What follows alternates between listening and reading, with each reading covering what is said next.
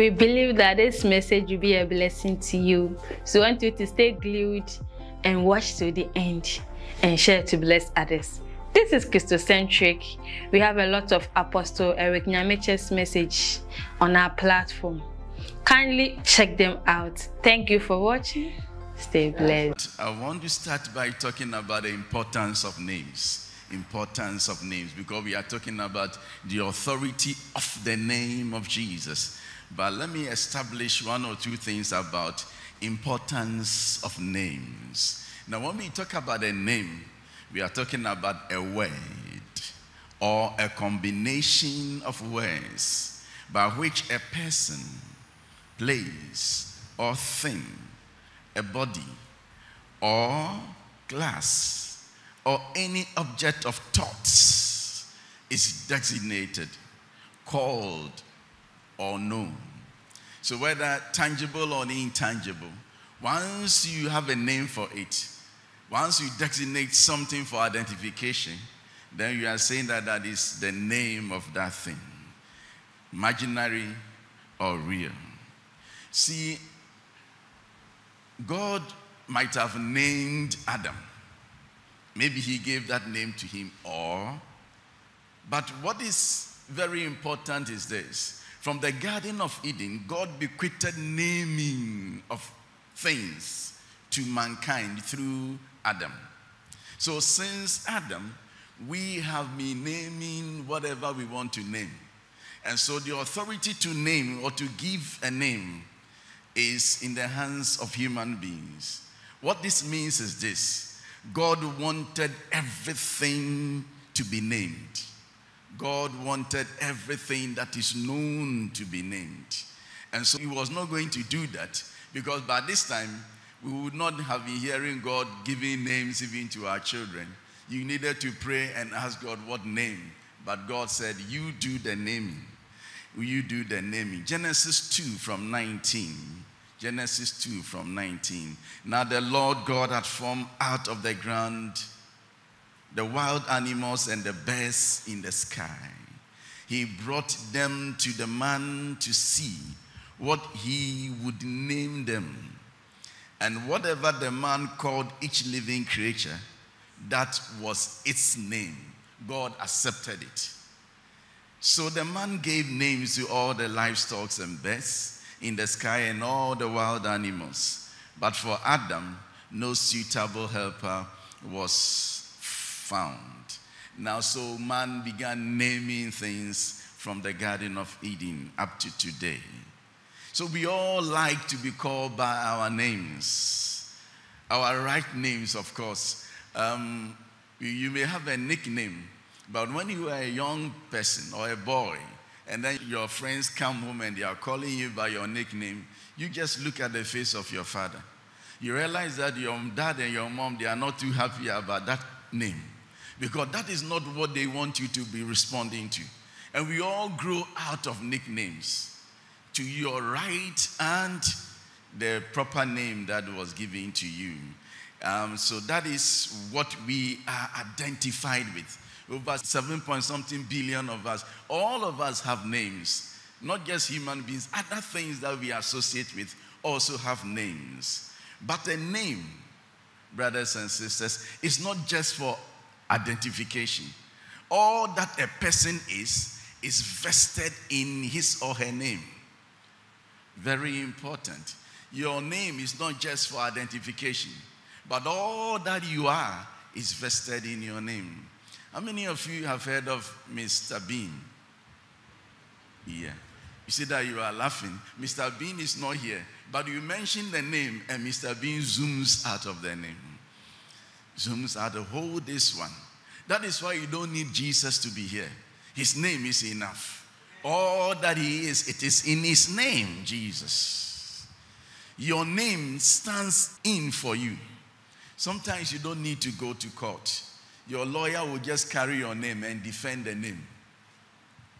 That's all. So you don't worry.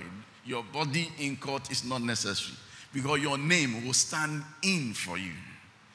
You and your name, therefore, are one. You and your name are one. You and your name are one. You destroy a person's name and you destroy the person. Very important. You destroy a person's name and you destroy their fellow.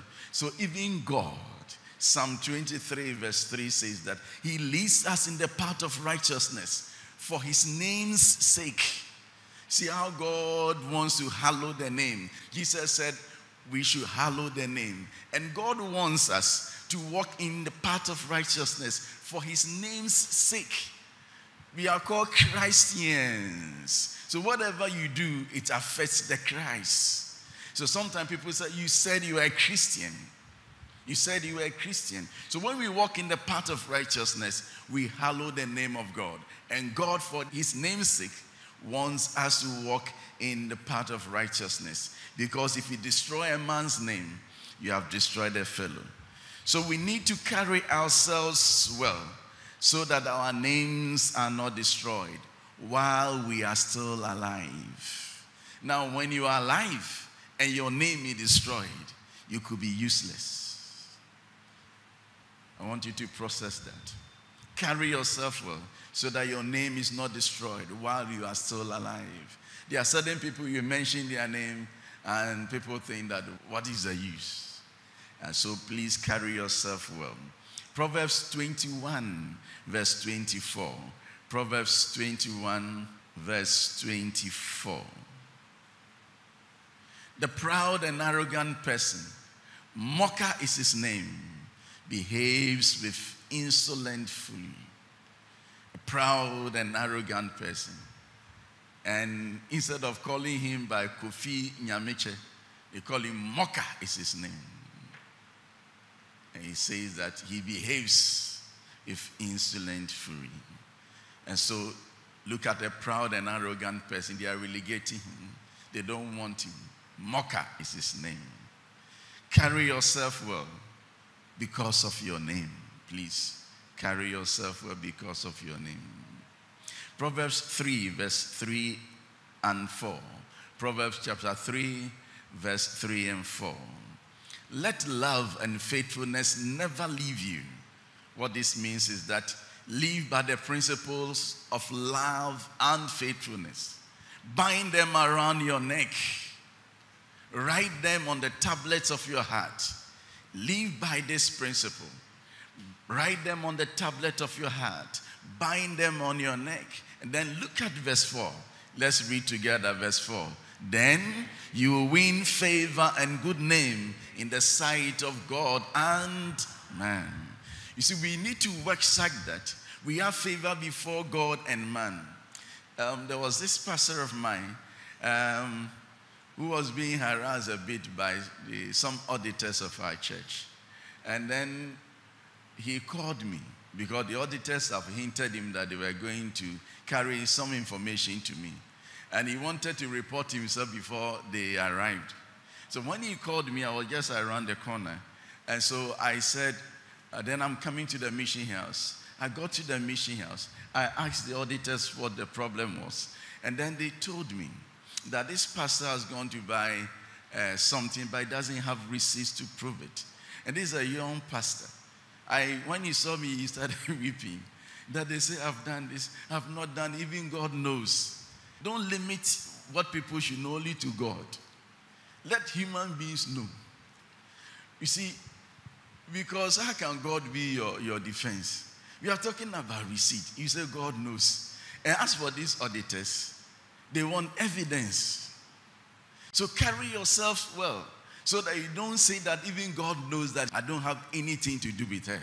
He says that carry yourself well so that you have favor before God and man. Carry yourself well.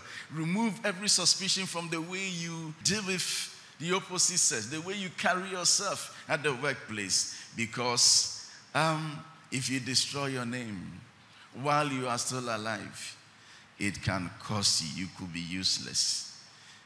You could be useless. But there are certain things that are better than money. Like good health is better than money.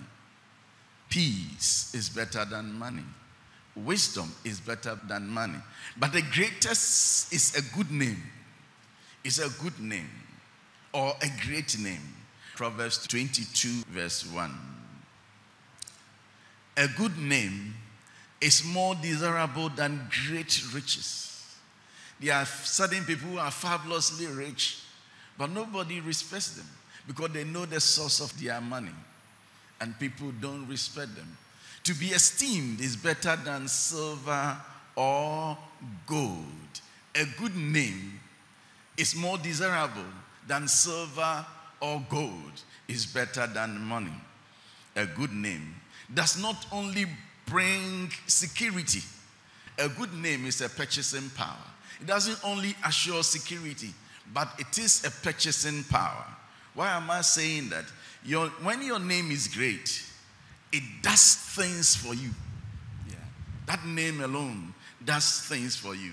Now, you normally will not see people with great names in the banking halls, yet they withdraw money. And for some of them, they will wait till around 4:30 when they are sure that banks have closed. And then they will call. Now, when they call and you are there, you, you take the receiver.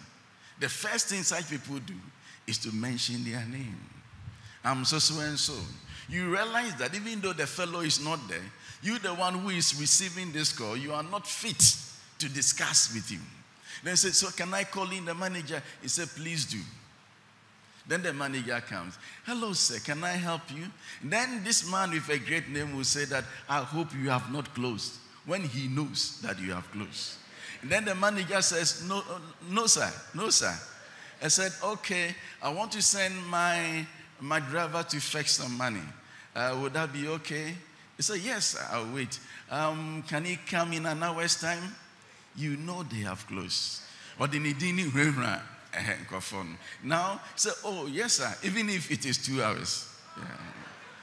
See, the man is not there, but his name is fetching things for him. That is what great names are. Please work on your name.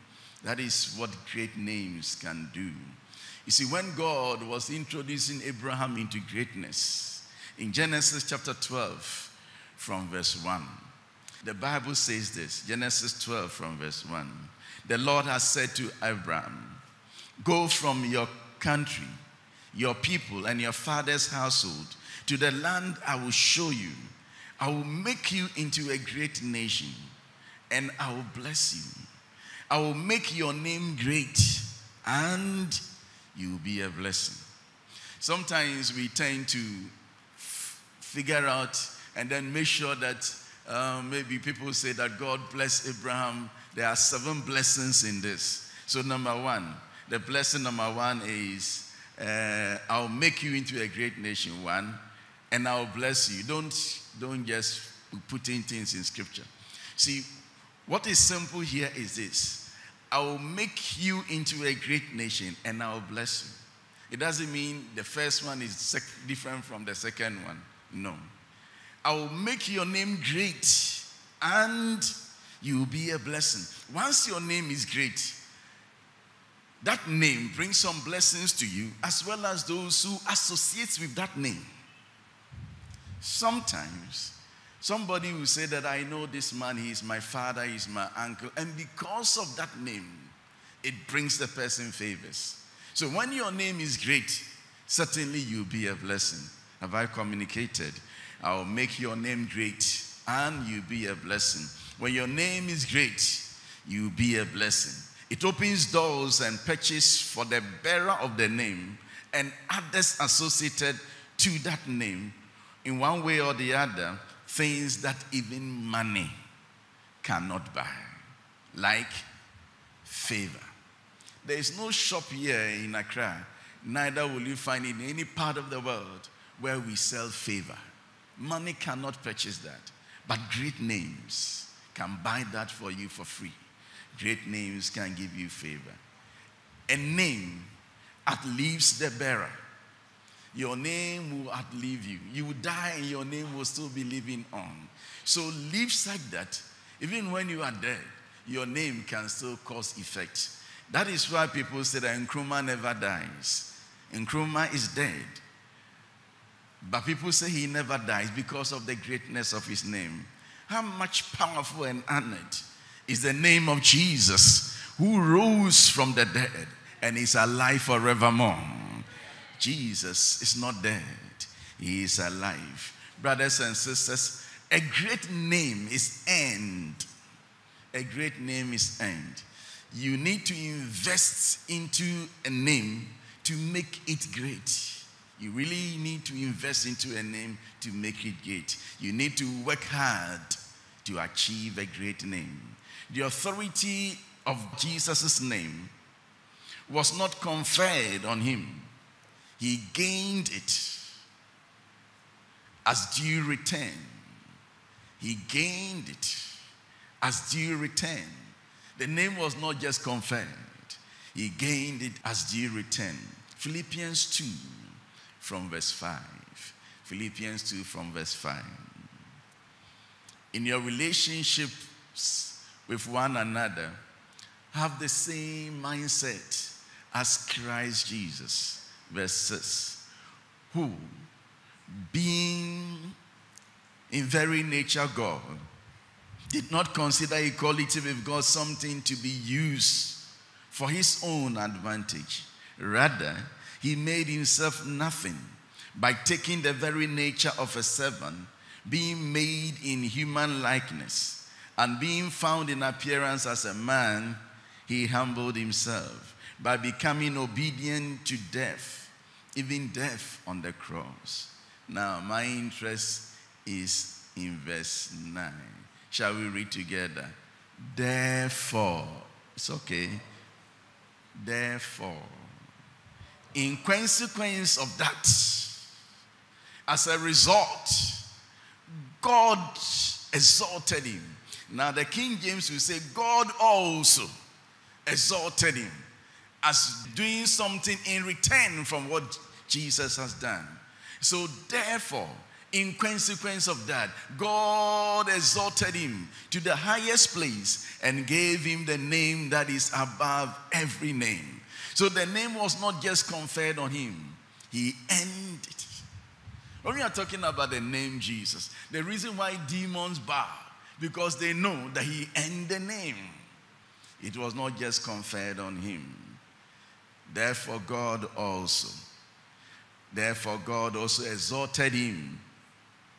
God also exalted him. What did he do for him?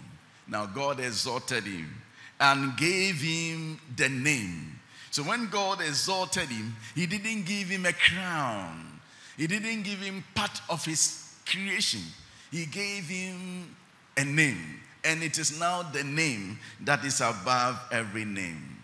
Hebrews chapter 1 from verse 1. Shall we go to Hebrews chapter 1 about the name he inherited from God? Are we together? Fine. In the past, God spoke to our ancestors through the prophets at many times and in various ways. Verse 2. But in these last days, He has spoken to us by His Son, whom He appointed heir of all things, and through whom also He made. Uh, now, verse 3. The Son is the radiance of God's glory and the exact representation of His being sustaining all things by his powerful. After he had provided purification for sins, he sat down at the right hand of the majesty in heaven. Now, the big one, verse 4. Shall we shout it? So he became as much superior to the angels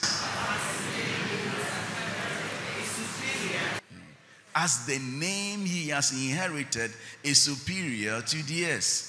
Now, when you go to church, don't disturb yourself with angel worship. I saw this angel, I saw that angel. See Jesus. The name he has inherited is superior to theirs. If you read on it, the name is superior to that of angels, superior to that of Moses, superior to that of Abraham. And if you say Moses and Abraham, it is enough for the Jews. There should be no other name that should be compared to the name. And this name he has inherited. From who? Who gave him this name? And what name did he inherit? Back to Philippians 2, verse 10. Philippians 2, verse 9. What name did he inherit? that at the name of Jesus, every knee should bow in heaven and on earth and under the earth. You see that the name that he inherited is what? Jesus. But you want to wonder, why didn't he give him a name like Yakubu or some Muhudios name so that we know that he has inherited the name? This name was spoken to the mother, was even predicted, was, was suggested by the angel Gabriel. He was named even before he was conceived. And so he is simple Jesus. And the name Jesus is not a sophisticated name. It's like saying Joshua in, in Hebrew. Now let's go to Colossians 4, verse 11. Colossians 4, verse 11.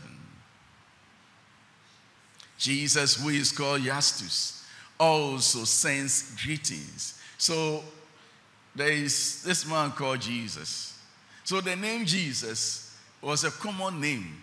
That is why Peter and even the angel, they were careful to say that this Jesus we are talking about is the one that hails from Nazareth. And I don't think that even in Nazareth he was the only Jesus. So Jesus was a common name. So when God lifted him and he gave him the name Jesus, it is as he gave him the same name that his father named him when he was born. That common name. But what makes the difference? The president of the Republic of Ghana, Nana Addo Dankwa Akufo-Addo, when he was campaigning, he campaigned with this same name. I'm sure when he went to school, this was the name he went to school with. When he was campaigning, wanting to be president, he did it with this same name. Then he won the election. From the day you won the election up to today, you cannot say anything at all against this name and go scot free. People will take you on before you say, Jack, you are somewhere. Why is the name now different? Because the whole of the authority of Ghana backs that name.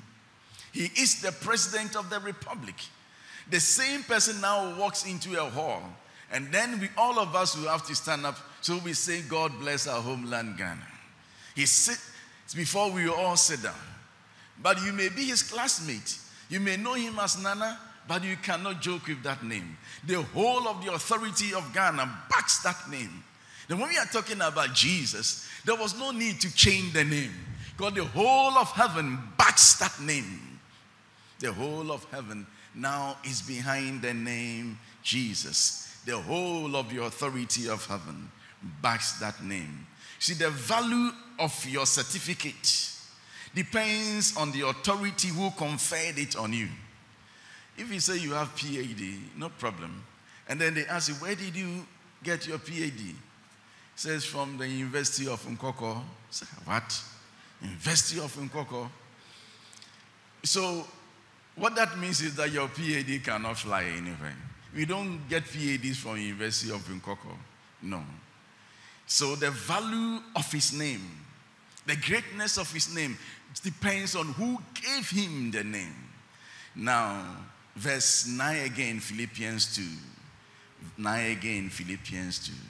Therefore, God exalted him and gave him the name so this name was given to him by the supreme being, the king of all the gods, the creator and the owner of all things, the king of kings and the lord of lords, gave him the name Jesus. Gave him the name Jesus. If God gave him that name, it is superior than any other name. He qualifies to bear that name too because he earned it. See, the authority of the name of Jesus is over all things. Is over all things. Hebrews 1, verse 2. The authority of the name of Jesus is over all things. Hebrews 1, verse 2.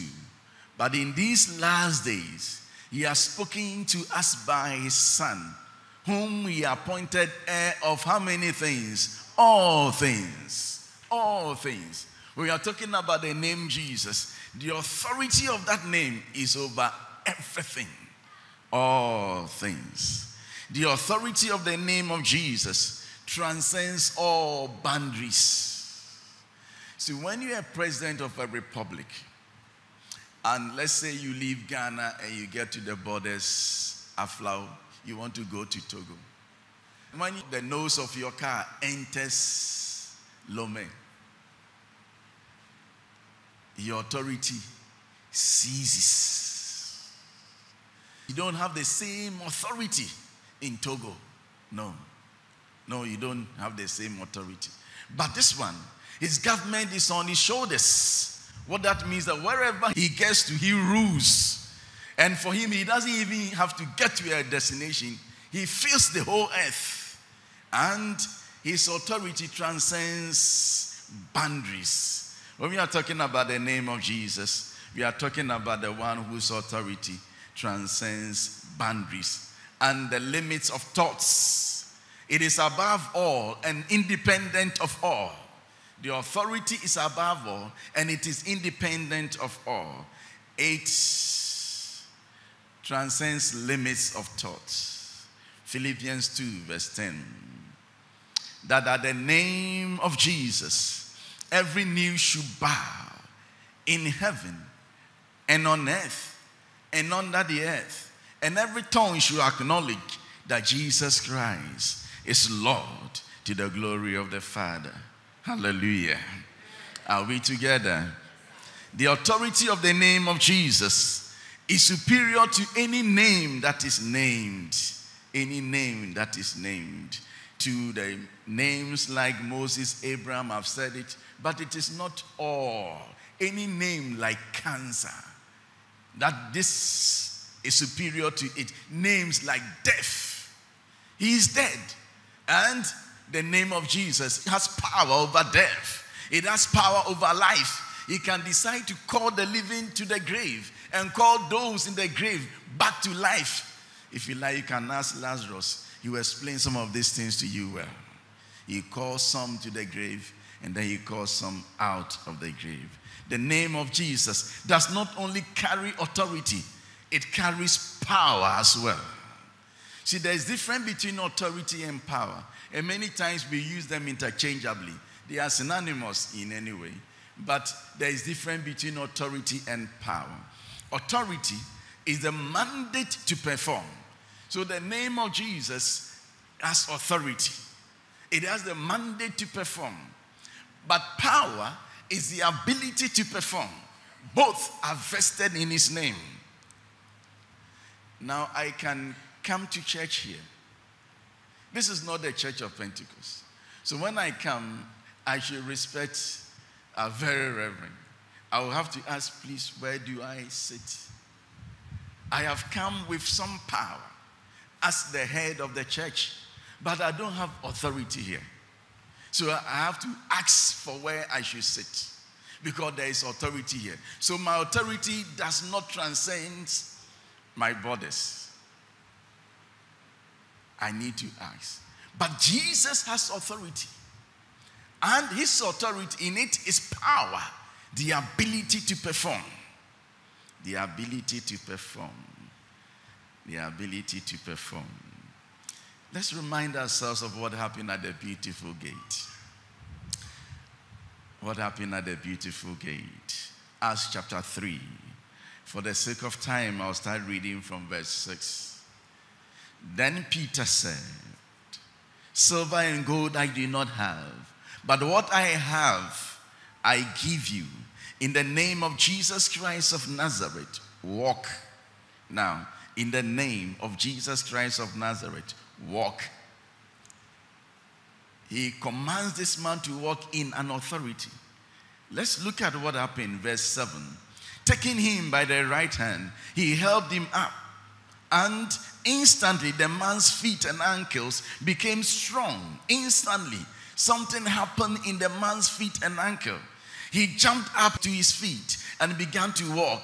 Then he went with them into the temple courts, walking and jumping and praising God. When all the people saw him walking and praising God, they recognized him as the same man who used to sit begging at the temple gate called Beautiful. And they were filled with wonder and amazement at what had happened to him. Something has happened to him. He says, This is what I have in the name of Jesus. He used the authority and power entered the man's ankle, and the man jumped to his feet. Now, the next day, something happened. They were called before the Sanhedrin. Acts chapter 4, verse 7.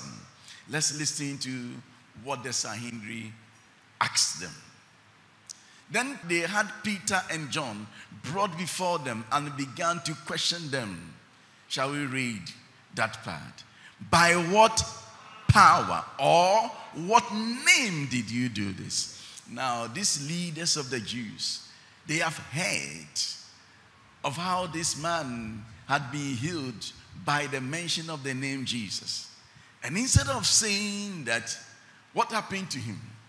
They, they asked this question. Shall we go back to verse 7, Acts 4? They had Peter and John brought before them and began to question them. By what power?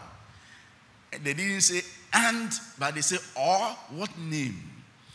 The understanding is this names have power. So a certain power might have done that, or a certain name might have done that. So names have power. And in the name of Jesus, it's not just a name with authority. Invest in the name is power. In the name is great power. Then Peter had to respond. Verse 10 Then know this, you and all the people of Israel, it is by the name of Jesus Christ of Nazareth whom you crucified, but whom God raised from the dead, that this man stands before you healed.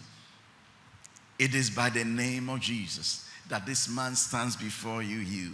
The name of Jesus has power. Even as you are listening to the sound of my voice, if there's anyone sick here, in the name of Jesus, be healed. Be healed. The name has power over demons and circumstances. That is why we don't have to disturb our members by just magnifying the powers of demons. See, this one, uh, there's ancestral curse, this, this fellow, this witch in your home who is disturbing you. Major in the power that is in us. He that is in us is greater than he that is in the world. Don't let us flood our churches with demon mentality, it will not make any difference. Rather, build the power that is in you. You see, we all have challenges in our homes, but you see, don't worry about who is a witch in your home. Yeah? Just level in the name of Jesus. It has authority and power. It has authority and power.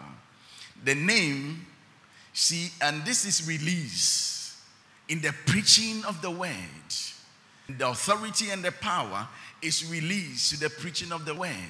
Now, this name has been made available for us for the salvation of mankind. So, all of us who are here, it is not enough just to know about the authority vested in the name of Jesus, nor the power that it is in His name. People are suffering, they need to be saved. And God wants you to use that name, the authority to liberate them. And so, in Matthew chapter 28, he asked the disciples to go because all authority in heaven and on earth has been given to him. We should go and make disciples of all nations, teaching and baptizing them. And signs and wonders will follow us because of the name. So God wants us to save mankind and humanity. Peter said, There is no name given among men by which one should be saved. And that salvation is not just bringing people to faith, deliverance, delivering them from shackles that hold them bondage. It is in the power of the name. And God is expecting you to go out using the name, preaching in the name of Jesus, and signs and wonders will follow you too. The message of the preaching in the name of Jesus is one that Jesus is our propitiation. is the only name that heaven accepts for deliverance. It is the name that hell recognizes. One day the demons asked these sons of Sceva, Paul, I know. Jesus, I know. Who are you? The name of Jesus. It is the only name that God has given us for our deliverance. Now, lastly, the name of Jesus is a strong tower. Yeah. Proverbs 18:10. I'll read this and then I'll bring my message to a close. The name of Jesus is a strong tower. Shall we read together? The name of the Lord, hold it. Um, we used to sing this song, Abandon. Yeah. Imuna jani. Umuna utufo nyina benya fahudim. Abandon ne uye. Oh. And I see, let me just say something about this song. Originally, we were not singing it, Abandon New Yehovah. No, that is not how we had it. Abandoning is not Yehovah. Abandoning Yehovah is God. But the name of the Lord is the strong tower, not the Lord. So when we are singing Abandoning New Yehovah and the devil hears it, he knows that it's theologically wrong and that it doesn't achieve anything. Because the name of the Lord is the strong tower. The righteous runs into it and they are saved. So this song originally we used to sing it abandon den neu Yehovah din. Wumuna hutufo yina jani betua. Wumuna hutufo yina benya fahude abandon den neu Yehovah din. You see, when God, Yehovah, was given to mankind, they gave him a name, and that name is the name of the Lord, Jesus Christ. It has pleased the Lord that the whole power of the Godhead dwells in our Lord, and that name is Jesus. The righteous runs into it, and they are safe. I want you to know that there's so much security in the name of Jesus. Once you are in Him, you are safe. And remain in Him because outside His name is danger. I pray that God will help us so that at least the little that I've said, may the Lord breathe upon it and turn it great in your heart. That from today forward, you will know the authority that is in the name of Jesus and know and go beyond that this name does not just have authority, it has what? Power as well. But we should go preaching the name because the name of the Lord is a strong tower. God bless us all.